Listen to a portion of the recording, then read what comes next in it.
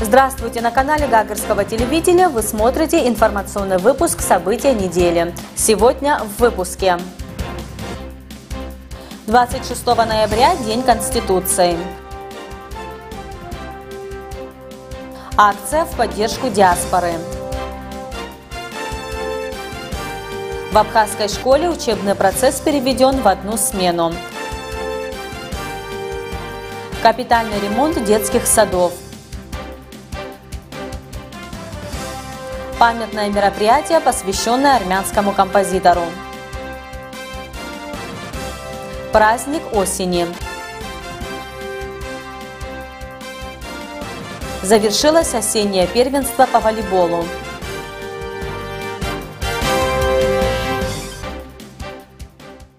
Двадцать шестого ноября в нашей республике отмечается День Конституции. Один из главных признаков современной цивилизации на сегодняшний день заключается в том, что большинство народов мира в настоящее время живет по выработанным правилам, сведенным в основные законы своих стран – Конституцию. Несмотря на объективные преграды, наше молодое государство шаг за шагом продвигается вперед. Демократические процессы в обществе в соответствии с положениями Конституции Республики Абхазия развиваются своим чередом. Мы живем сейчас в обществе, где уже есть большие возможности возможности, развивается свобода слова и гласности. Для более динамичного и экономического развития народно-хозяйственного комплекса взято правильное направление – сочетание всех форм частной собственности. В политическом плане наша страна уже независимое государство. Международное сообщество постепенно привыкает к существованию независимой, суверенной, демократической Абхазии. Граждане Республики Абхазии с надеждой и уверенностью глядят вперед в будущее, которое обязательно принесет хорошее. Ведь строительство государства, в котором на законном уровне закреплены и осуществляются демократические свободы, принесет успешное развитие и процветание.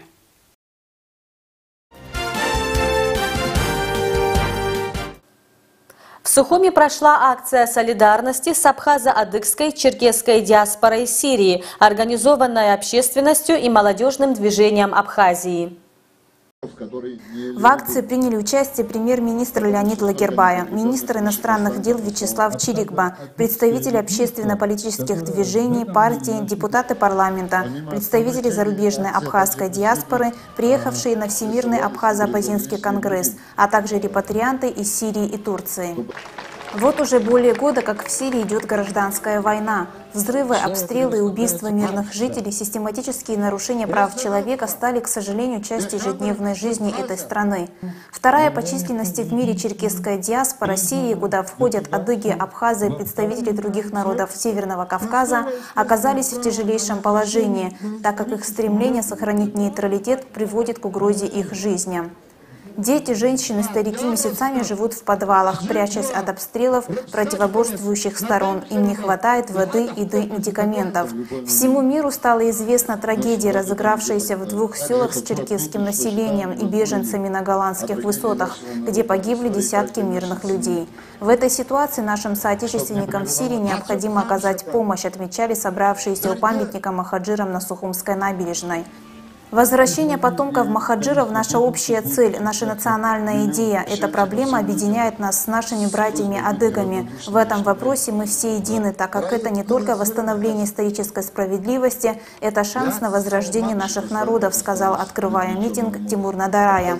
На митинге также выступили доктор исторических наук Тимураз Ачукба, герой Абхазии Аполлон Шинкуба, депутат парламента Ахрабжания, публицист Владимир Зантария, председатель Совета старейшин Абхазии Константин Узган и многие другие.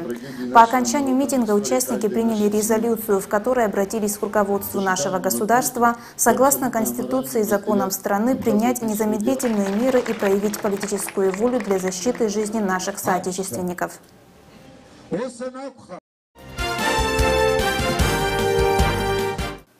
В связи с капитальным ремонтом с 1 сентября учебный процесс в Гагарской средней школе номер один был переведен на две смены, что вызвало немало неудобств как у педколлектива, так и у самих школьников.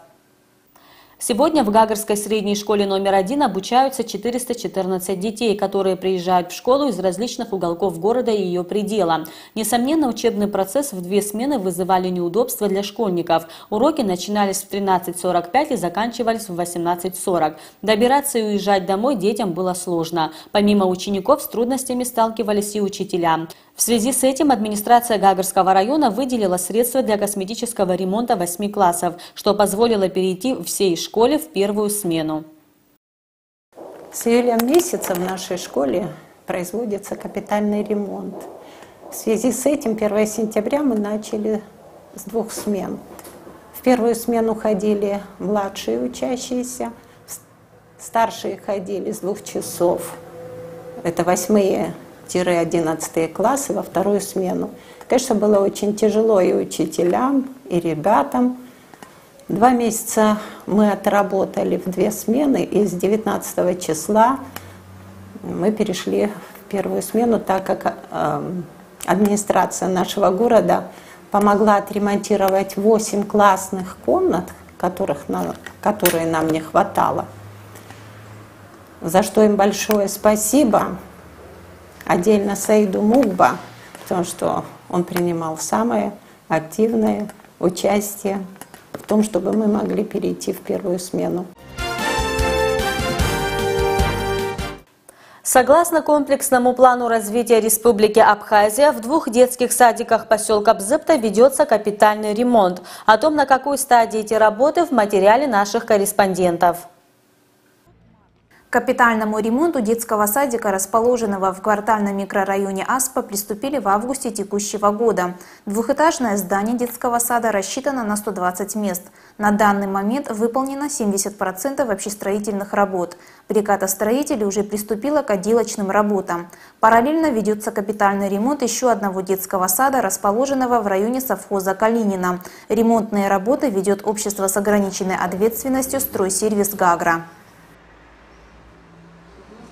Поселок Зыб Хаясп Хахитрогона Садик э, Хазжу э, Ахах Уску Хрулга Хрулган э, Шихракуе Шракуе Харжуб Апол Актора Ежуб Ялгар Ирыцкина Дулцу ялагод группа Сапхеза Вада Сапхеза и Анатарку Аюина Аргылу,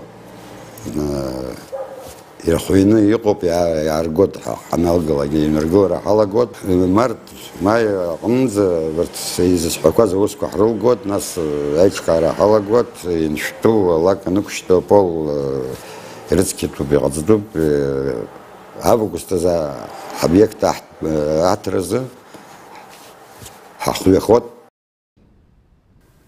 Для строительства детских садиков используются высококачественные материалы. К примеру, кафель был специально завезен из Испании. В обязательном порядке предусмотрены насосные агрегаты, автономные водные резервуары и дизельные генераторы. В благоустройстве территории детских садиков используется малая архитектурная форма.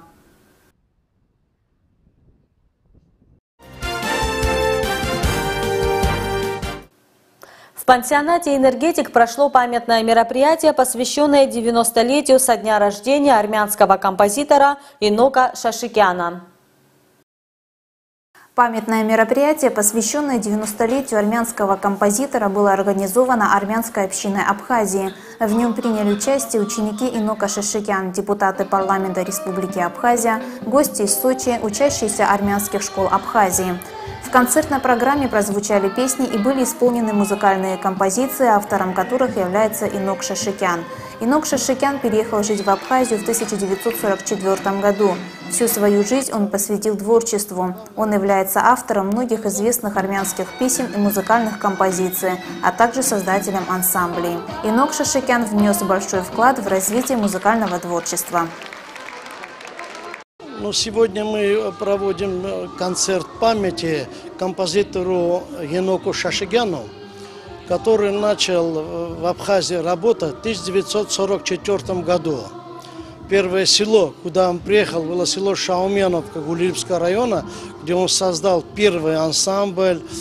И постепенно во всех армянских селах Абхазии он создавал ансамбли, за творческий свой период он провел 7 тысяч концертов. Он очень много сделал. Воспевал красоту Абхазии, красоту именно людей, воспевал о дружбе. У него много песен, посвященных столице нашей страны. Э, и армянская община Абхазия сегодня решила провести такой концерт памяти. Как вы видите, очень много народу собрался. Поют в основном это его ученики, которые когда-то у него учились. Музыканты это тоже его ученики. Он очень много сделал, и мы посчитали нужным провести такой красивый концерт. В Гагарской средней школе номер 4 силами учащихся начальных классов был организован праздник осени. Этот праздник осени стал для учащихся подготовительного класса первым в их школьной жизни. Детишки под руководством своего педагога Гаяна Макарян, а также при непосредственном участии своих родителей подготовились со всей ответственностью. Сцена актового зала была украшена атрибутами этого времени года. Сам праздник начался со сценки, в которой принимали участие сами ученики, одетые в красочные костюмы, изображающие разные овощи. Также в их исполнении звучали стихи и песни об осени.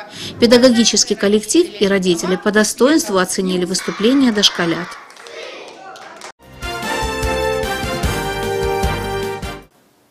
В течение пяти дней в Гагарской средней школе номер два проходило осеннее первенство по волейболу среди юношей и девушек 1998-1999 годов рождения. Подробности смотрите далее.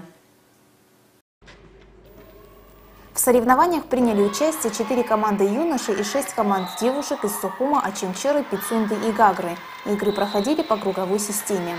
20 ноября состоялась финальная встреча спортсменов, по окончанию которой были названы победители и лучшие игроки турнира. По итогам соревнований среди юношей первое место заняла команда «Гагра-1», второе – «Гагра-2», а на третьем месте – сухумские волейболисты.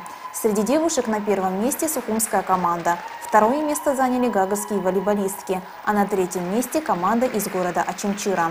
Лучшими игроками турнира из команды «Гагра-1» были признаны Дмитрий Отерба, Давид Варданян, Евгения Максименко и Юля Агарба. Из команды «Гагра-2» Андрей Кривапш и Алтана Агарба. Из сухумской команды были отмечены игроки Гуджа Адлиба, Виктория Ольховик, Даниэла Тужба и Валерия Агарба. Из спецунской команды Валерия Чепелева и из ачимчирской команды Кристина Тодуа также были признаны лучшими игроками. Командам-победительницам и лучшим игрокам вручили кубки и грамоты. Отрадно отметить, что команда девушек «Гагра-1», заняв призовое место, команда юношей «Гагра-1», став чемпионом осеннего республиканского первенства и команда «Гагра-2» призером турнира представили наш район достойно. В общем, было все хорошо, но единственное, что вот сегодня мы не собрались и не сыграли, как мы могли. Мы, мы можем много сильнее, мы покажем это в следующий раз.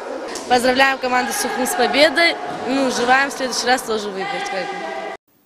Подобного рода турниры способствуют развитию и популяризации этого вида спорта среди молодежи нашей страны. Данный турнир был организован Республиканской школой игр совместно с детско-юношеской спортивной школой города Гагра. Игры проходят интересно. Молодежь, значит, вот вы сейчас находились в зале, видели крик, шум. То есть эмоции достаточно высокие и напряженные игры проходят. Э, невзирая на то, что какая-то команда слабая или та э, более сильная, но сражаются все дети с удовольствием. И я считаю, что э, этот, эти соревнования прошли очень удачно.